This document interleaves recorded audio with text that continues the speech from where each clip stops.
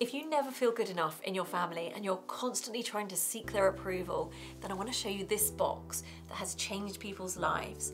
Now, imagine that you were given this box from a very young age and you were led to believe that there was something really special inside.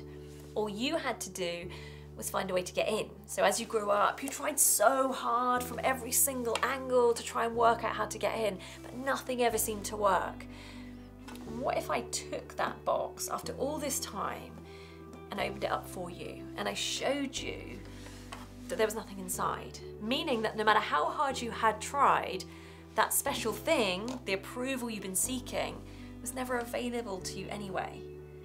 And realizing that the box is empty feels devastating after all that time spent trying to get into it. But it's also liberating because your life choices no longer need to be based on what's inside there, they can now be based on what matters most to you.